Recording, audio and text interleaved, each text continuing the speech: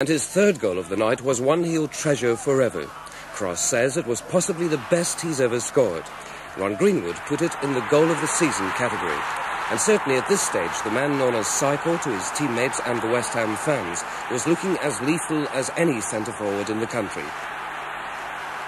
But when we watch it again, it's clear that after the brilliant one-touch build-up between Paul Goddard and Geoff Pike, the goal was slightly unorthodox as well as superb. Cross's full-blooded volley actually came off his shin before raging into the net.